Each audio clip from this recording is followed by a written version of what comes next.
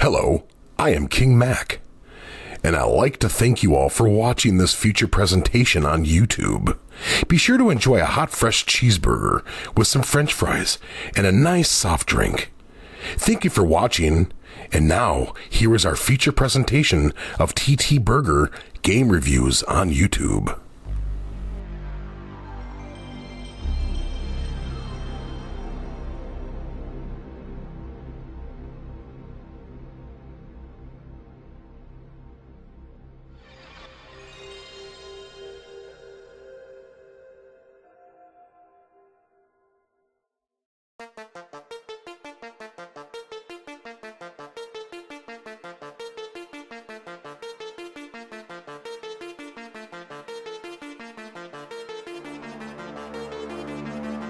Hello my friends, how are you all doing today? Hope you're all doing well because we are back with more game reviews here on YouTube and I'm your host Tony. We're continuing my Godzilla series review, episode 172, part 2 of 2. Before I get started, I want to give shout out to Sub-Zero MNX and Free Green HD for King Mac, and I also want to give a shout out to my friend MF217 who's a big Godzilla fan himself, so criticals to you all, you guys are awesome, keep up the good work. And today we're gonna zoom ahead to the year 2014 and take a look at a Godzilla game on the PlayStation 4.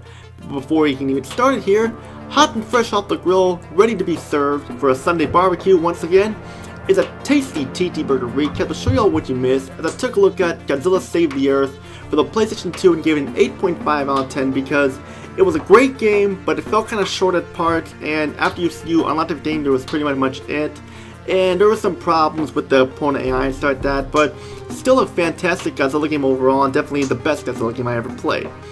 But now we're gonna, like I said, we're gonna zoom ahead 10 years later to the year 2014 and take a look at Godzilla for the next gen consoles for the time, and we got it right here. This game was first released digitally on a PlayStation 3 and then ported to the PlayStation 4, and they're both released the same the same day and same year. This is Godzilla, also known as Godzilla 2014, released by Bandai Namco Games for the for, for, for PlayStation 3 and PlayStation 4 on July 14th, 2015. And without talk about this, let's get started. Now, when this game first came out, a lot of people hated this game with a passion. The review sites gave it low scores, and other people were going along with, with how they didn't like the game or so, and people just hated this game in general for numerous reasons whatsoever. For me, I really like this game, and I'll show you why it is a fun game, why people were too hard on this game in my opinion. I know there are some things that I agree with people on, but overall, this game is fun and worth the money. To start things off, Godzilla 2014 does its best to make you feel like you are in a Godzilla film.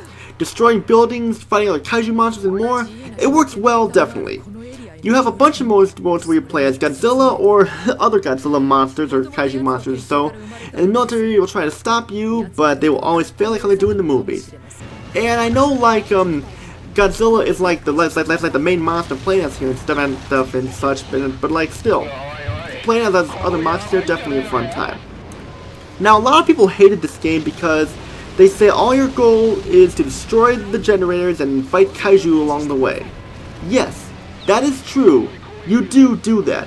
But there are things you can do in this game. You don't just destroy generators, you can also destroy buildings and cities along the way to get a high score. It feels like people just rush through the main mode to get it done as fast as they can, call a day, and that's why. There are other things you can do in this game. It has that semi-roam, free-roam sandbox feel to it by giving you the option to destroy buildings and more. And it is fun to do. Sure, you cannot pick up buildings such, but you can destroy them and watch them collapse. I mean, I understand Godzilla destroyed buildings, but does he have to pick them up? No, he does not. Would you rather have a good Godzilla game where you do nothing at all and can't destroy anything, just run around like you're like you're playing track and field? I mean, I wouldn't. I mean, this is fine the way it is. I mean, sure, I would like for Godzilla to pick up the buildings and destroy them and throw them at, at their at his opponents like that, but at least you can attack and, and destroy the buildings that, and attack with, with your special attacks like your tail whip, your headbutt, or with your atomic breath.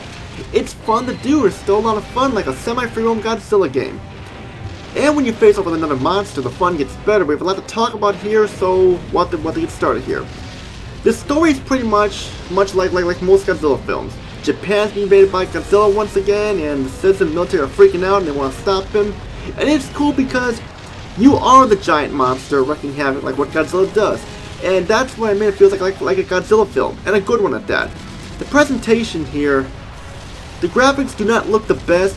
They feel like a last gen game. I mean, sure the kaiju models look great, but the environments look dull. Where yes, when when like there's destruction going on, the destruction looks good, but the buildings and everything look kind of dull. I mean, like just like like when when when you destroy them, they look good, but when when they're standing there, they just don't look the best. The frame rate is smooth, and like I never noticed any frame rate rate issues anything like that. But the graphics not the best, but still, it's just the graphics in my opinion. Sound, I gotta say, great sound for the most part, except for one part, which I'll get to later. It has great music like like feels like Godzilla music, but also has the Godzilla theme, which I cannot play because of a copyright claim. Don't want any copyright claims there. It's got the uh, the uh, trademark mark monster sound effect roars for the most part. Some are different, but still most of them are the trademark mark sound effect roars. For the voice acting though, the English voiceovers are awful. It sounds phoned in and bored, but the Japanese voice acting, much better. Just stick with the Japanese audio, that's all I, I will say. The Japanese voiceovers are much better. The gameplay of Godzilla 2014, it's great, it's fun, but it has its problems, but it's nowhere near as bad as what everyone says it is. For starters, you have some modes to play here where you play as Godzilla or a kaiju monster destroying or defending cities like that throughout Japan, whatever mode you choose. I mainly play as because he's the king of the monsters. Like I mentioned before, you go through a stage, destroy generators, you can also destroy buildings, military vehicles, and get some secondary objectives done if you want. And you can destroy most items in each level. You have a boundary to where you can only you can only be at, but still I do not mind this. I know you do the same thing over and over, but it still has has that fun feel to it to be the king of the monsters. The main story mode takes only about an hour to beat, but here's the thing that people did not tell you. You have multiple paths you can choose in this game, where it adds replay value to it. Sure, the same thing happens, but it's cool to keep doing this over and over. You can also collect photo evidence as well, and this is cool because when you are collecting photo evidence, you can change the camera and it shows the view of a, of a reporter from a helicopter or from a distance, trying trying to collect footage for like Godzilla to see Godzilla destroying heaven. You can hear him talking through the through the speaker of your controller, and it sounds realistic for sure. And I like that. It making it making a realistic feel to it, and it's fun to see that.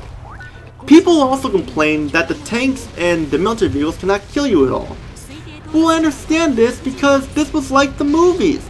The military could never take out Godzilla, so I'm okay with this. You have tons of kaiju that you face off with, like King Ghidorah, Mothra, Mechagodzilla, Space Godzilla, Megalon, Rodan, and more and more, and a lot of classic monsters to them. It's a fun game that is way overlooked because a lot of people just too hard on this game in my opinion. And it's fun, but now the bads. The controls do take some time to get used to because you turn Godzilla with the L1 and R1 shoulder buttons, and you pause with the touchpad, and there's no control settings to configure this.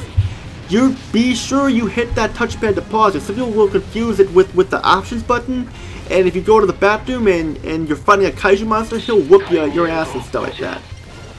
Aiming your atomic breath can be difficult at times because you have to manually really aim it.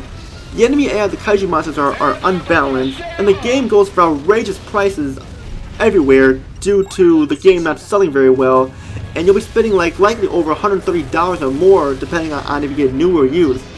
I got my copy on day one for about, about $60, so it was worth the $60 there, but just, just, just to be warned there, some people are not gonna, gonna like having to spend a, lot of money for this game, but believe me when I say it, it's worth it overall. So final thoughts here is, you, you want some more Godzilla action to feel like you're in a Godzilla film? Pick up Godzilla on PlayStation 4 because it's definitely worth owning your collection for sure. The score be given is an 8 out of 10 due to the problems I have with it, but still, it's nowhere near as bad as what the critics and, the and people are saying this is. It's a fun game, you should definitely pick it up if you can find it. And that's it for my Godzilla series review. I know I there were some games I didn't review, like Godzilla Strong Monsters Melee and Godzilla Unleashed, but I don't own those games, so, that, so I can't say anything about them. So I'm just saying there, but um, Destroy Monsters Melee is awesome, Godzilla Unleashed sucks, and stuff that I had the PlayStation 2 version, don't know about the Wii version, I don't own the Wii version, but that's just me there, but definitely pick up pick up Godzilla Save the Earth and Godzilla 2014. These are both fun games, definitely owning your collection for sure. Pretty all I gotta say, and if you like what you see here, hit the subscribe button, hit the like button, comment down below, and join my Discord group, TT Burger Gamers United, and also join my Facebook group, TT Burger 8 Gamers Group, and also my, my, my Facebook page called TT Burger 8. because the, the links are there, so feel free to join if you want to join. But all I gotta say is, is Tony. Peace out, have a great day, see you all in episode 173, part 1 of whatever part, whatever, how many, how many I reviews, just find out, which all I gotta say is Tony, peace out.